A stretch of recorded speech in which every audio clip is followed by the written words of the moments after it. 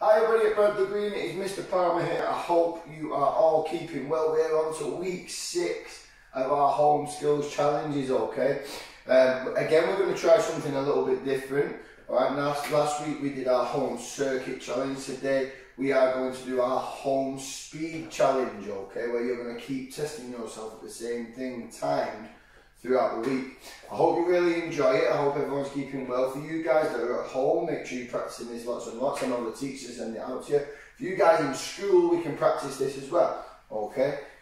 Really, really easy to get out a few cones and get this done, okay? And have a little challenge between you guys that are in school still too. So make sure we're all giving it a good go. Okay, it's a tough one this one. It really get you out of breath and make you work very, very hard.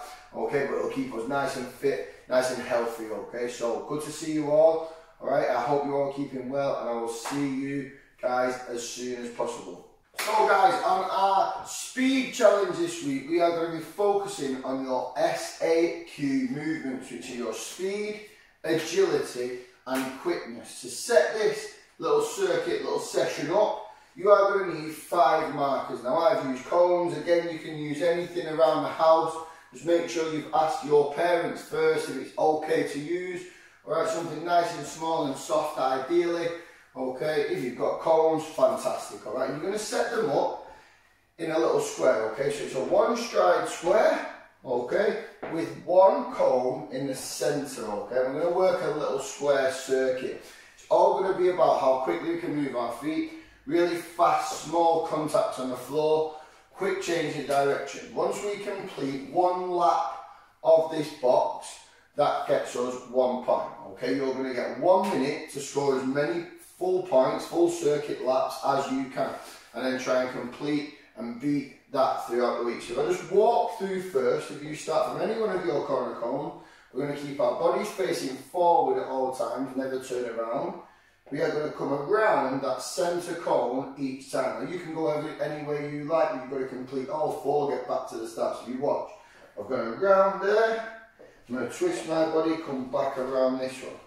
And then work around it again, around the top, come back around again to go around this one, and then I've got to get myself back into position at number one. That would be one circuit done.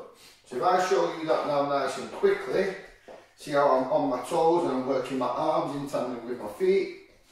Work out, round, across, and around, all different types of movements, good. Working there, and I get back to the starting position. That's one.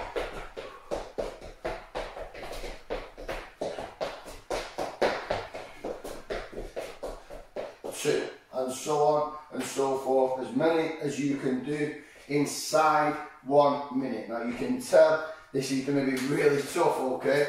It's going to get you out of breath, okay? It's going to make you really, really get yourself working hard. So stick at it, have a go at it, wait a little bit, try another, try and beat your score, okay? You're doing great with these at the minute, make sure you keep it up. It's a good job from everybody. Hope to see you all soon. Good luck.